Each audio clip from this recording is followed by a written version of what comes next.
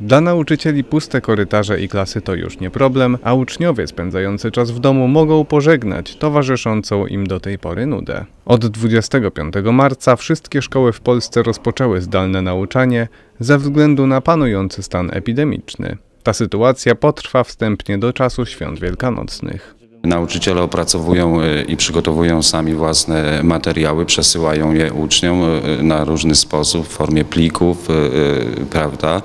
Są cały czas konsultacje, również za pomocą mailingu. Jest praca na różnych platformach, łącznie z wykładami wideo, czy wyłączeniem się z całą grupą głosowo. Nawet nauczyciele nagrywają lekcje na YouTube, następnie przesyłają uczniom, a a, a do tego są przes, przesyłane zadania i y, w ciągłym, pozostają w ciągłym kontakcie zdalnym, że tak powiem, z uczniami i udzielają informacji zwrotnej do dalszej pracy.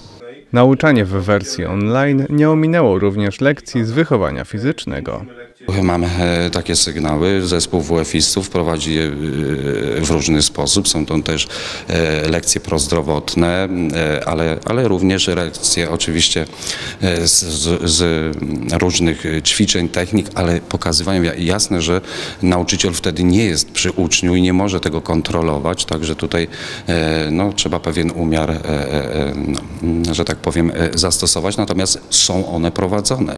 Czy takie nauczanie zdaje egzamin i uczniom uda się w ten sposób dokończyć rok szkolny? Nie zdajemy sobie e, z tego sprawę, że oceny, które e, e, są uzyskane, oceny bieżące przez uczniów w tym okresie mogą być też kluczowe przy wystawianiu ocen końcowych. Także cały czas analizujemy y, sytuację, przygotowujemy się ewentualnie na, na, na, dalsze, na dalszy rozwój e, tych wszystkich e, działań. Nawet już poczyniliśmy kroki, założyliśmy e, platformę z myślą o naszych pracownikach, nauczycielach do przeprowadzenia konferencji online. Pod dużym znakiem zapytania pozostaje kwestia matur. Na dzień dzisiejszy trudno prorokować, czy odbędą się one w terminie, ale jedno jest pewne: tegoroczni maturzyści nie mogą narzekać na brak czasu w przygotowaniach.